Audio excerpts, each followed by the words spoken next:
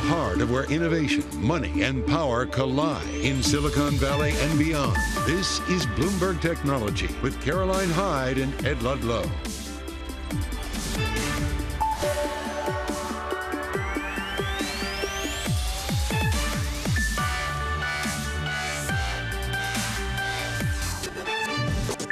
I'm Caroline Hyde at Bloomberg's World Headquarters in New York.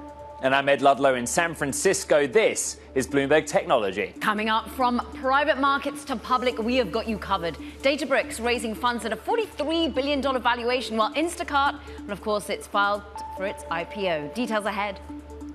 Plus, Apple revamping the iPad Pro for the first time in half a decade. We'll have more on the iPhone maker's plans to spark growth for the tablet market. And SpaceX's Dragon successfully docks with the International Space Station, marking its seventh human spaceflight mission to the ISS. But what's next for Elon Musk's company? We'll discuss. But first, let's check in on these public markets. And they're here and they're now, the volumes are still thin. It's the end of August. We're down about 25%. But remember how far we've actually fallen the main benchmarks. In fact, NASDAQ on course for its worst month since, well, the beginning of the year. We're down about 4% today.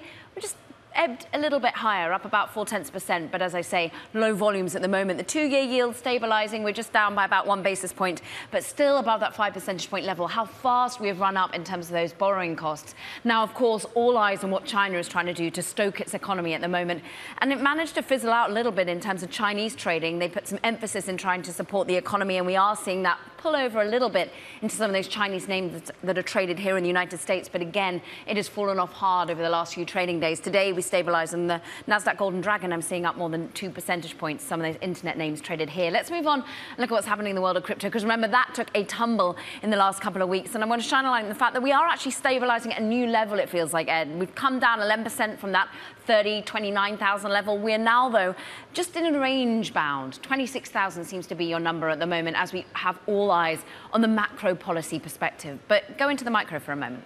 Yeah, no crazy moves for specific names, but there are tech stories from all over the world. So Xpeng, Chinese EV maker, nice bit of M&A, buying DiDi's smart auto business. That seems to be supporting the US listed shares or ADRs for that Chinese EV name. Apple's basically flat now, but later in the program, Mark Gurman's going to bring us his latest power on. He's giving us reporting about the next gen iPad Pro coming 2024, some new specs that we're looking out for. Two other names moving related largely to analyst calls, but I want to bring you a new name we haven't discussed on the show, which is Nerdy, ticker NRDY. Why am I picking out Nerdy? You know why because I'm nerdy, but it's an, e- an education online platform. Raymond James reinitiating with an outperform. Lots of growth, it thinks, because it's moving to a subscription model powered by, guess what? AI. Nvidia has been resumed by another, uh, or initiated, sorry, with another buy rating at Sealand Securities.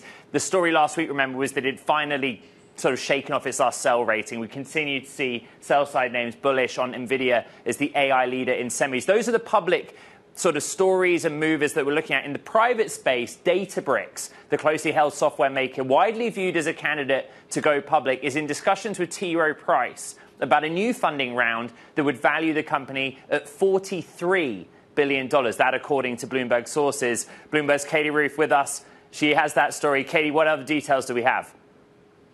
Sure, yeah. So, as we reported, that T. Rowe Price is in talks to potentially lead an investment that would be an up round at 43 billion. We don't see a lot of those these days. It was last valued around 38 billion in 2021. Um, you know, there aren't a lot of pre-IPO companies that can even raise at all, let alone at an increased valuation. But, you know, a lot of people are drawing comparisons to, to Snowflake, which is almost a $50 billion company. Um, Databricks also has been getting more involved in artificial intelligence, which is obviously a hot space. They recently acquired Mosaic, um, an artificial intelligence business that targets enterprises for over a billion dollars. And so uh, what we understand is they've had a lot of inbound interest with investors trying to invest, trying to get in what could be the last round before they go public. And yeah, it's looking like it could fall at 43 billion. Well, well let's dig into that a bit deeper. This is interesting timing because a lot of companies that are now in the IPO discussion may have done a down round in the last two years, but they're raising or they, are looking to do something at this interesting valuation pre IPO. What, what do we know about Databricks' near term intentions to go public? So, you know, usually I would say if a company is is raising money, they're not on the verge of IPO because you don't want to dilute your ownership right ahead of an IPO. Um, so this to me is a signal that they might be delaying their IPO further. Now, Databricks obviously is a company at scale. They have the kind of revenue that's necessary to go public, but they also don't have to go public because they're able to keep, you know, raising capital in the private markets, and so um, they just haven't they don't have that impress that pressure just yet, but certainly they are a company that we expect to go public at some point someday. Mm-hmm. And of course, we all wait with bated breath as to the reopening of the IPO market. We've got ARM, of course, waiting. We've got the likes of Instacart, where we got the details, the devil in the detail, coming in their latest numbers in the filing of the IPO on Friday. What did we learn from that overall, Katie?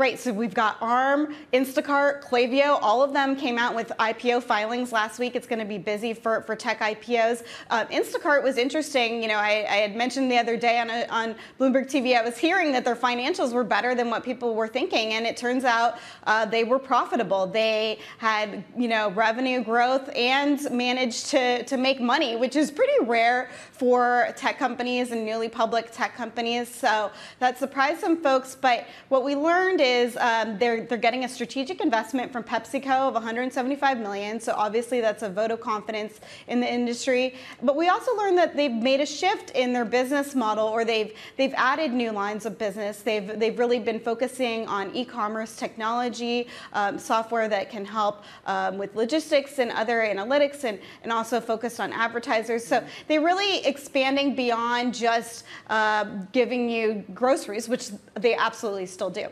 Fidji Simo really coming into bear when it comes to the leadership of that company. We thank you so much, Katie Roof, there, really detailing some of the news we got Friday and then throughout the weekend. Let's carry it on a little bit in terms of well, what the IPO market's gearing itself for. Rachel Gerring, we're pleased to say, joins us. Look, she's been leading the IPO practice over at Ernst & Young Americas. You've got 20 years experience in really guiding companies at this pivotal moment in their direction of travel. I know we won't dwell on individual names and individual business models, but ultimately, when we're seeing a company like Instacart that's had to put off going public, had to take cuts to its market valuation, how important is this moment? I think it's a really important moment for the, the broader IPO market and particularly the tech IPO market.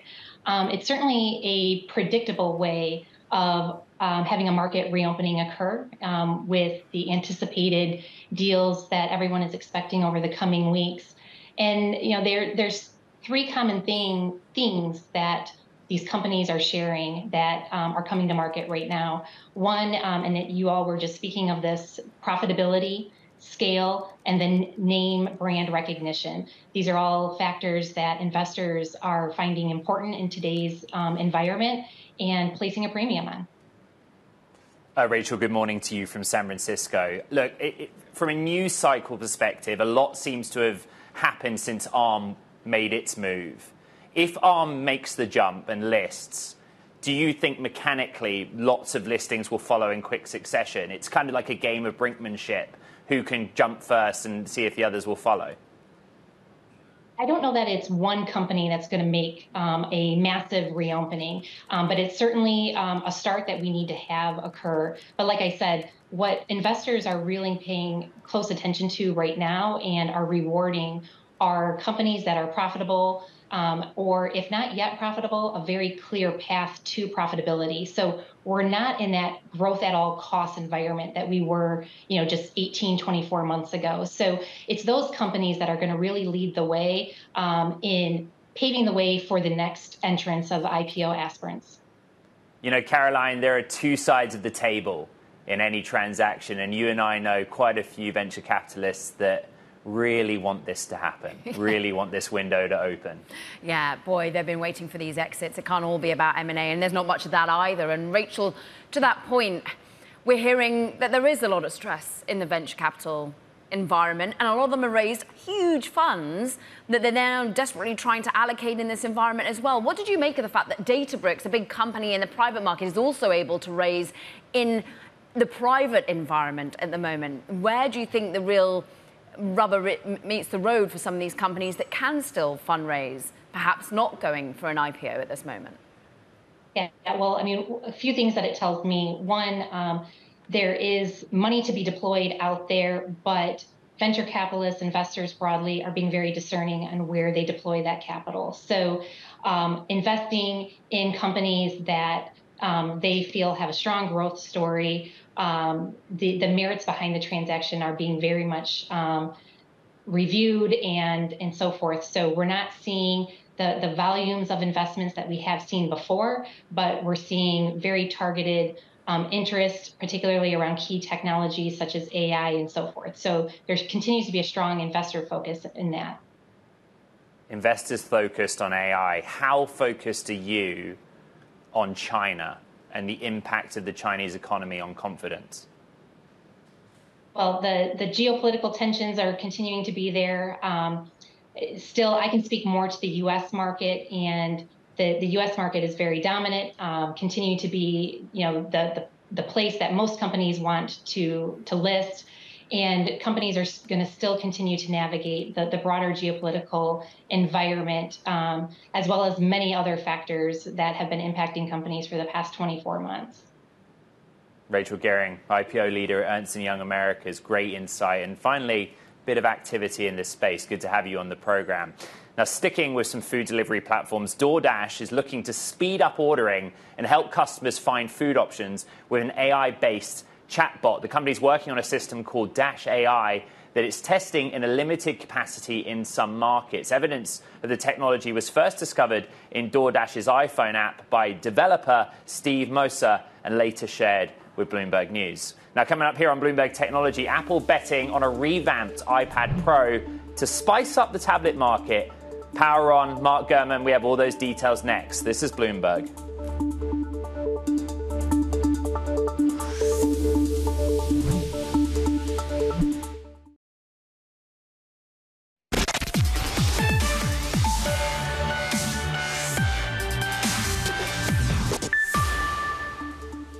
Foxconn founder Terry Gou has joined a crowded race to become Taiwan's next president, in the process upending an election that will have wide ranging implications for security in the Western Pacific. The tech billionaire denied Beijing could pressure him through his extensive operations in the country, which include much of Apple's supply chain.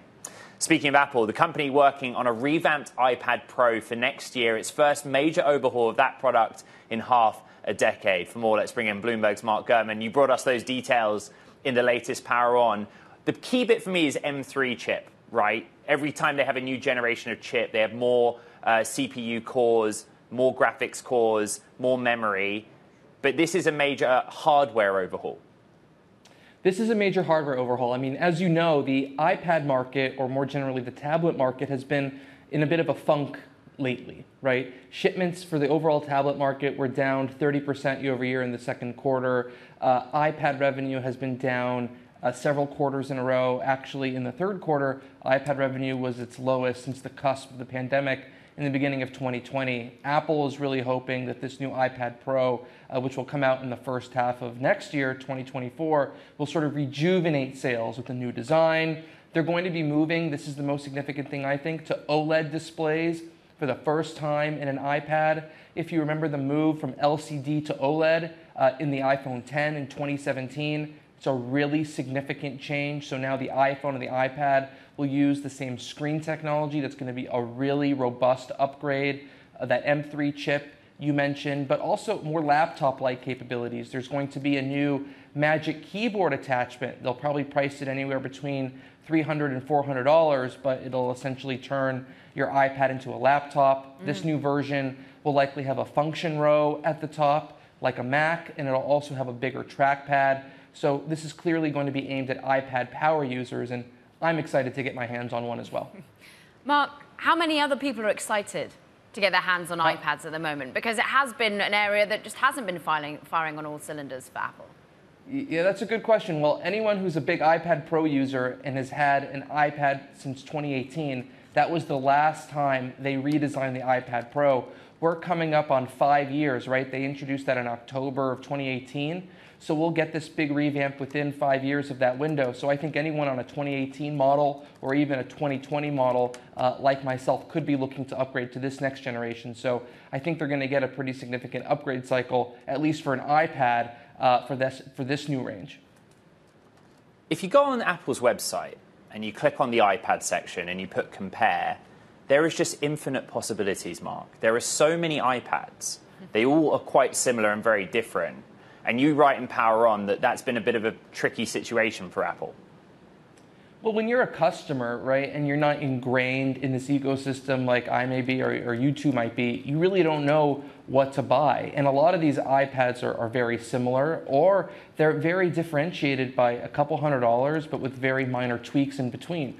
So it's unclear if you should buy the, the base 10th generation iPad. Should you buy the 11 inch iPad Pro? Should you buy the iPad Air, right? And so I'm not sure that this new iPad Pro will do much to fix that problem with perhaps too many iPads, too many choices, and lack of clarity between the two the, the, many options. But what it will do is it'll help differentiate the iPad Pro and make that more of a halo product at the top of the line and maybe push more people to the high end, which of course would raise overall Apple ASPs and overall Apple revenue at a time where we question maybe some costs going up for Apple as it has to rejigger mark its entire supply chain. You did a really great deep dive, Bloomberg did in its big take, about how much th- this is really changing the environment for making this equipment across the whole of Asia, not just China. Yeah, the interesting thing about what we've discovered based on the data is something we've been talking about, or I've been talking about for a long time. Apple is not necessarily moving out of China but it's augmenting its operation outside of China. So you're not seeing many new product lines being developed in China. You're seeing a lot of status quo in China. So the number of suppliers in China for Apple, the number of production sites, it has, it has stayed stagnant, right? It hasn't really gone down. But in terms of Apple's growth, all that growth, that's happening in Vietnam, that's happening in India, the new lower end iPhone models. You're seeing a lot of production in India. As they need additional units for those regions, you're seeing production in India. You're seeing Apple Watch production in places like Vietnam. You're seeing new types of Macs being produced in Malaysia. So you're seeing China sort of stay stagnant for Apple, but not growing, right? So the future of Apple production and supply chain is in China. It's the places around China. It's the Indias of the world, Malaysia, uh, Vietnam, Thailand to a lesser extent. Uh, there's some work being done in Japan, right? So that's really the story here. China, Apple China, that's staying the same, but all that growth that's happening elsewhere. Really interesting, Mark. Thank you so much. It's great to have you back, Mark Gurman, on all things Apple and its supply chain. Now, just focusing in on supply chain, of course, all of this comes amid a geopolitical tension of US and China. And we know that earlier US Commerce Secretary Gina Raimondo was meeting with her Chinese counterpart all part of the Biden administration's effort to well, try and reduce some of the tensions between the world's two largest economies. China, it says it was a frank meeting, a constructive meeting, talking about tariffs, talking about chip policy. Raimondo, of course, had been looking to stabilize the relations. Just take a listen to what she said before. We agreed to establish a new commercial issues working group, a formal working group, which will involve U.S. and Chinese government officials, and very importantly, U.S. and Chinese commercial private sector representatives as we seek solutions on trade and investment issues and to advance U.S. commercial interests in China. understand they're going to be meeting at least once a year. Now, coming up, let's talk Bitcoin. It's like a teenager in need of its sugar high, according to Bloomberg Intelligence. We'll have all the details next. This is Bloomberg Technology.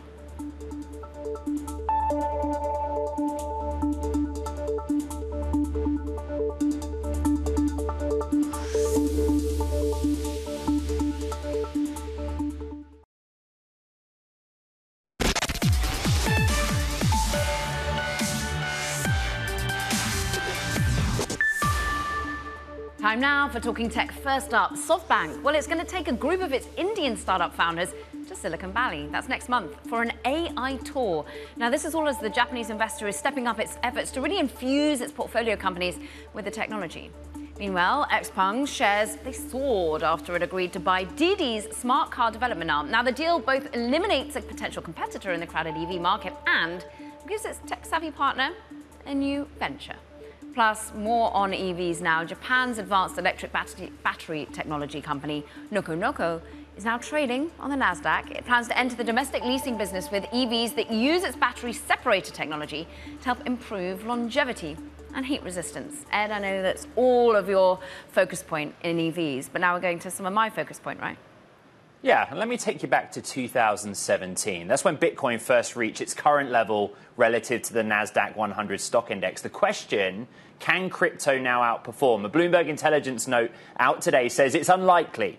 Federal funds futures in one year hovering around 5% and deflating producer prices are very different from that past easy money day that Bitcoin grew up in. Let's bring in Mike McGlone from BI, who wrote this piece. And Mike, you write in your latest note Bitcoin's a teenager and may miss its sugar high. What are you talking about?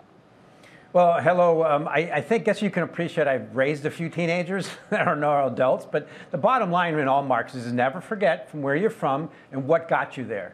So we, I look over at that two-year note every day and I see it's a giant sucking sound for risk assets, and Bitcoin's one of the riskiest assets. And Bitcoin's whole premise, its whole whole lifetime, it's been under a zero or very low interest rate environment. Now interest rates are very high and attractive. So then I look at performance. How far, how much has Bitcoin performed? Well, okay, the best in history. If you look at the first time it traded a dollar, that was around 2011. It's up 26,000 times that. So to me, the risk is greater that Bitcoin continues to revert lower. And all indications are showing that. It's showing divergent weakness versus the stock market, particularly in Q3. And then you pointed out versus the NASDAQ. It's still at the same level since 2017 in the NASDAQ. And I look at it, it's a much higher volatility asset. And it's showing divergent, it's showing lack of performance to really take it out it's higher. So I look at it as, okay, risks are tilted lower, particularly if we look at what the Fed's doing. Um, yeah. We don't see any liquidity coming from the Fed. And if they keep tightening, what stops them from tightening? Potentially the stock market going down, which means most risk assets. Mike, another Mike that I was speaking to this weekend, all about that sucking sound, was Mike Novogratz, of course, of Galaxy Digital. Yeah. And He's been getting more concerned about some of the headwinds, even though he himself is in line to be getting one of these spot ETFs. So too was Cathie Wood, and I was on stage with her as well. I'm interested as to what, if any, tailwinds could make you change your opinion on this. Yes, we need some kind of change. But first of all, I think I have better hair than, than Mr. Novo. The, the, significance, the first sign of tailwinds is I need to see, let's, let's see, at least see some signs, signs of strength. So right now, all the big picture moving averages are tilting lower, like the 100-week moving average. The market's bumped up to there and it's heading lower. And it's doing for a good reason. It sees that Fed fund future still tightening in the future. I need to see some divergent st strength, maybe versus stock market weakness. That would be a good sign. We're not seeing that now. Mike McGlone of Bloomberg Intelligence. We love some of the headlines that you have on your Bloomberg Intelligence notes, and it was a great one today. We thank you on all things crypto. From New York, from Miami, from San Francisco, this is Bloomberg Technology.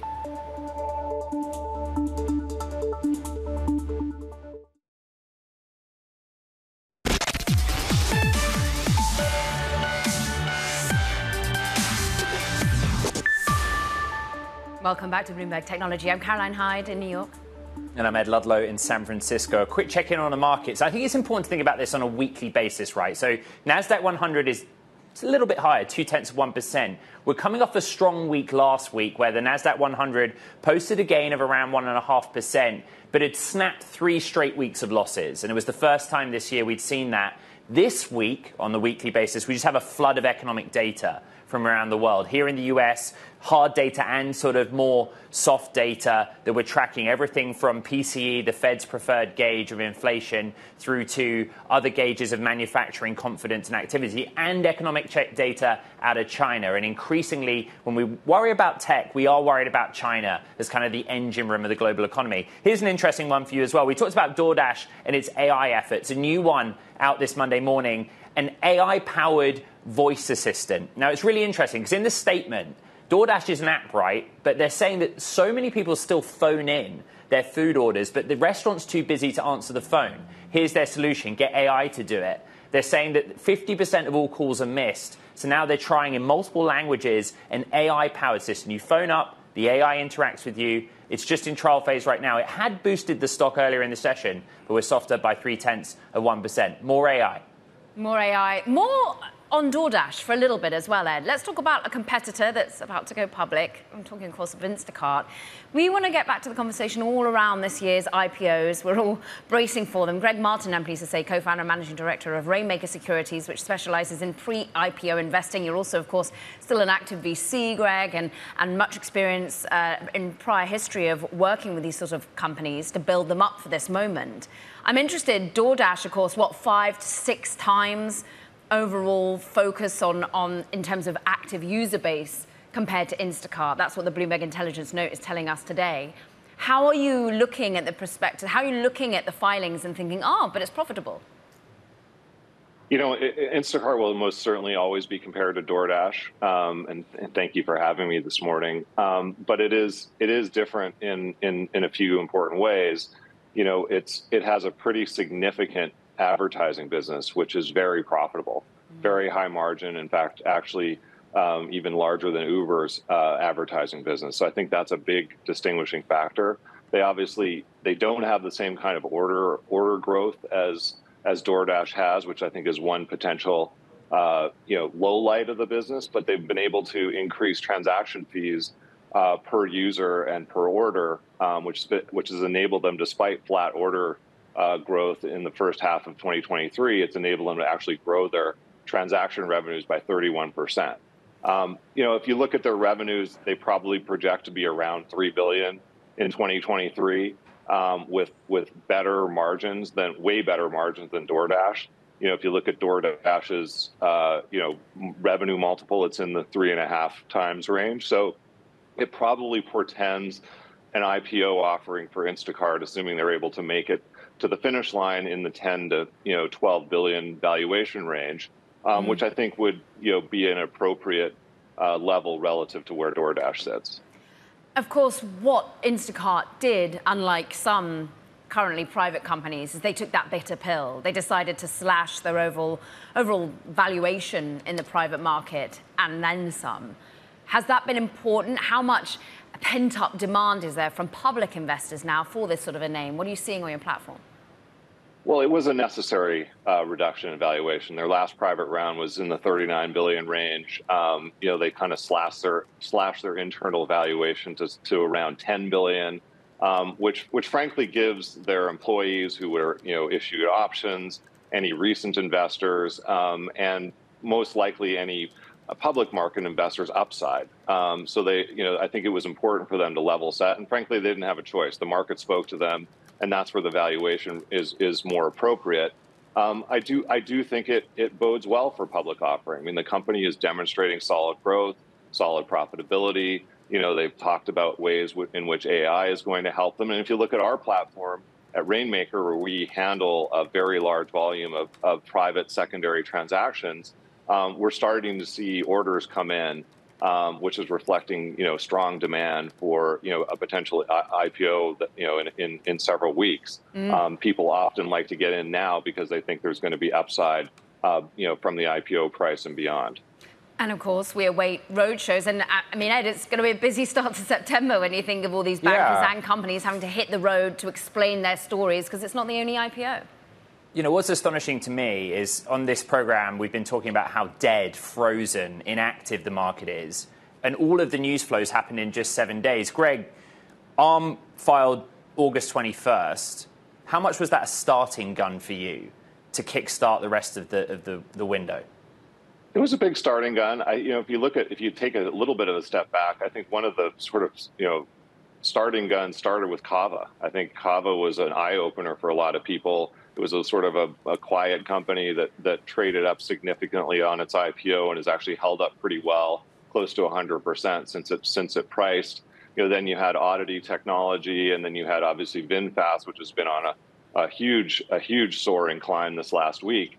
So I think people see that there's uh, receptivity in the IPO markets, and I think what started as a trickle could end up turning into a flood. Obviously, last week we had ARM, we had Instacart, we had Klaviyo um, those are much bigger IPOs. So I think there'll be a bigger test of where the market really is. Um, you know, ARM is more of a flat company, but it's also telling you know an AI story. You know, as you see, you know, kind of riding the coattails of Nvidia. So you know, I think ARM will be interesting. Instacart will also be a large IPO. I mean, we're talking probably, you know, several billion plus of proceeds between the two companies. So I think these will be real tests for the market.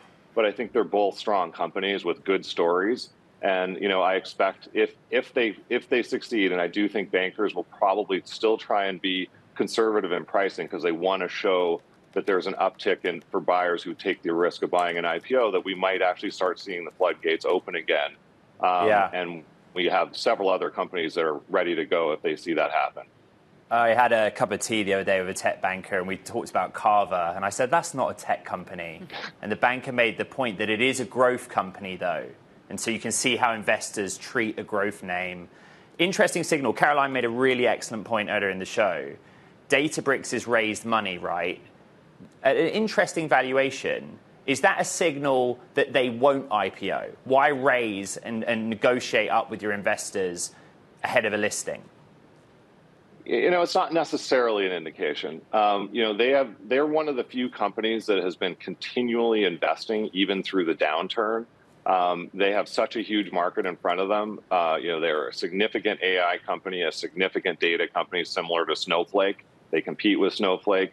They have massive scale, massive growth potential.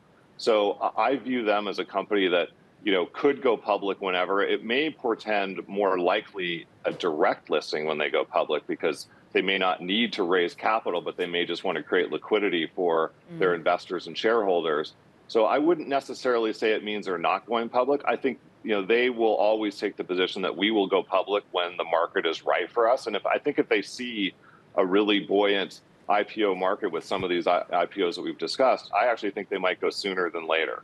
Greg, I'm interested as to the hunger for this and who it's from. Who is coming to your platform to get ahead of the listing? Who is going to be there to take down this listing? Which kind of investors are interested at this moment? You know, we're starting to see all manners. I mean, for you know, for 18 months, everybody kind of retreated, other than other than the investors that had a pure mandate to only do late stage private secondaries we're now starting to see the big IPO buyers, and obviously we're, we're, we're hearing of, of, a, of the Databricks investment. Um, you know, we're, we're starting to see the big institutions. We're starting to see family offices. Um, we're starting to see, frankly, high net worth individuals. Um, we're starting to see a big flow of people that are, are just are just there to say, hey, I, I don't want to miss the next Cava. I don't want to miss the next VinFast. I don't want to miss the next oddity. So so I think as, as investors search for yield, and you know, remember the bar is high. The, the risk-free yield now is five to six percent versus zero. Yes. So it has to be a quality IPO to entice investors to come in at this point. And Greg, I'm going to go to a sensitive sort of topic in the VC space right now, and you are still one. You've got Archer Venture Capital, of course. You were at Redpoint before. There is this really interesting dynamic that's happened: is that all these VC companies have raised a ton of money.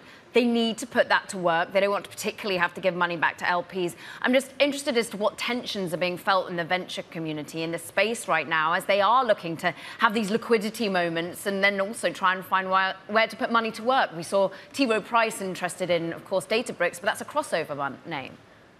Yeah, I mean, the biggest tension, if you look at, you know, the, uh, the, the pandemic in 2021, there was a real grow, grow, grow, spend, spend, spend mentality.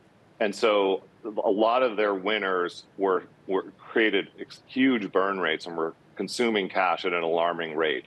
And so the first order of business for venture capitalists is to make sure that your big, you know, scaling businesses that are also spending a lot of money are well capitalized. And because they went through massive burn, you're seeing a ton of reserve and frankly, you know, a retrenchment uh, on new investments for venture capitalists to make sure they're supporting these companies. So there's not a lot of new investments into new companies, but there's a lot of using this capital to make sure that your big scale businesses have the cash. And of course, they're also making sure they're not spending money at, at the same rate. But obviously, there was an expectation that there would be a lot of liquidity by now. There was an expectation these companies would be public. And now they're seeing, hey, the IPO bar is raised. Um, we need two or three more years to get these companies to an exit. And we need to make sure we have the capital in these businesses to sustain those businesses so they can grow, frankly, into the into the crazy valuations that they were raised at in 2021. Greg, you mentioned the attractiveness of the yield on benchmark notes impacting IPOs. What's the biggest, quickly, economic factor that, that you take into account right now? Interest rates are always number one when you think about growth business, and tech businesses are, are mostly valued as growth businesses.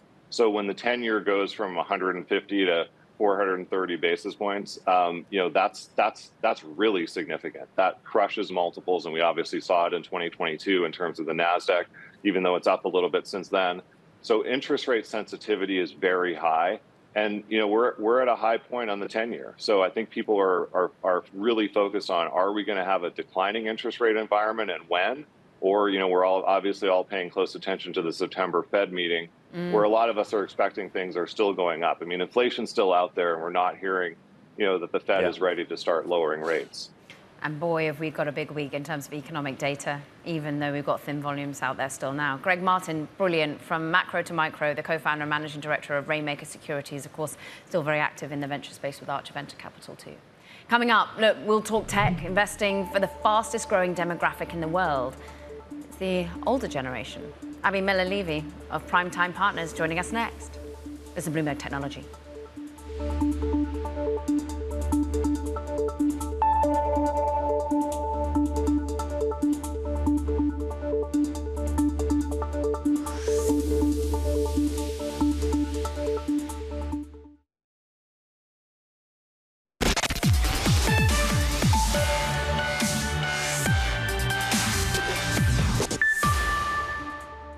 Think you have to like healthcare just because of the generational trade that's going on. The world is getting older. Sarah Hunt Alpine Woods there. And really, the focus on generational shifts at the moment. It's going to be the focus of our VC Spotlight today.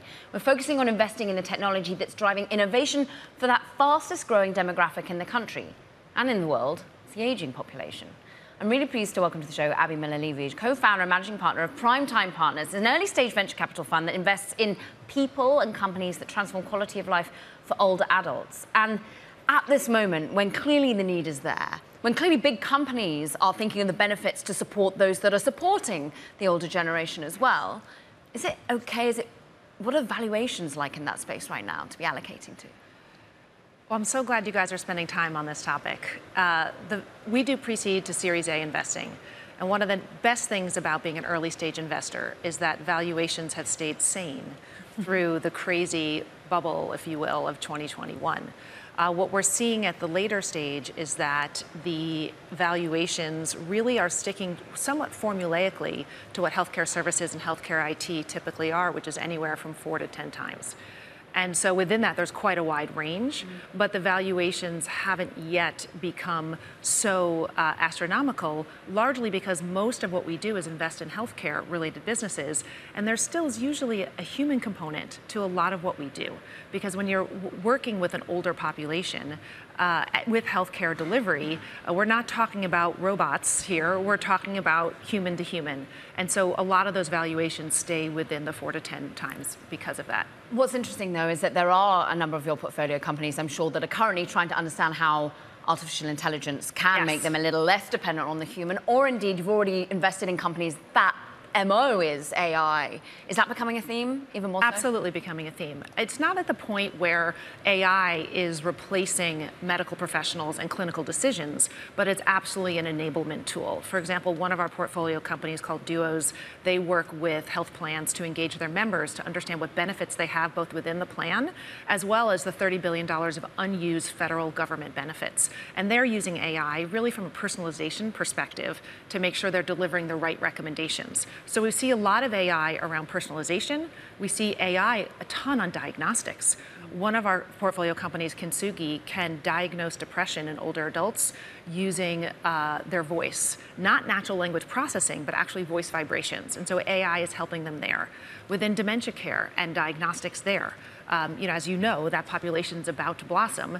Um, we're seeing a lot of AI on the diagnostic side. We do not invest in healthcare discovery, uh, drug discovery. But that is a huge piece of innovation in drug discovery and the speed of drug discovery is AI. So we're seeing really AI as an enablement mm. of the ability to scale healthcare to this population that, as the uh, you mentioned before, is you know doubling in size.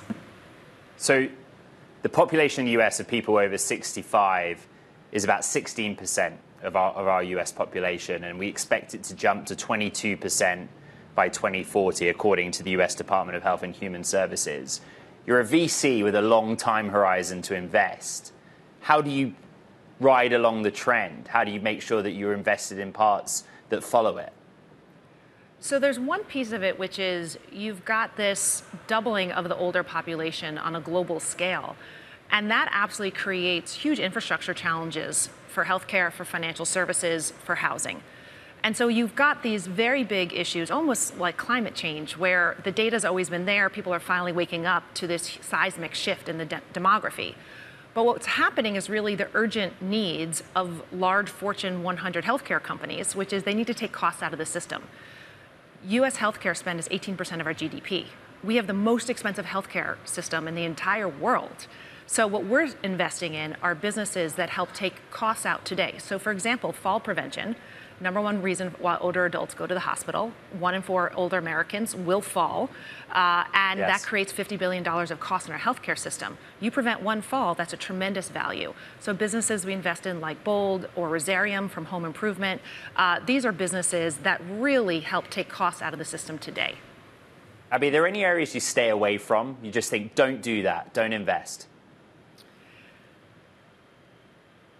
This might be a contrarian point of view. But uh, we think when people talk about the tech enabled home, uh, while 90% of Americans want to age in place, the answer isn't necessarily to make everything kind of like the Jetsons. Uh, I guess I'm displaying my age here, where everything is robots and technology and answered by the cloud that we believe that that is an area where remote patient monitoring and home care in the home is a great place to invest, but fully digitized robotic solutions, we're just not there yet, and that's not really the type of care that humans want for themselves and older adult children want for their parents. We love a contrarian view. Abby, thank you very much indeed. It's been a joy having you in to talk about this particular part of the space. Abby Miller Levy, of course, she's a Primetime Partners. All things venture from New York, from San Francisco, this is Bloomberg Technology.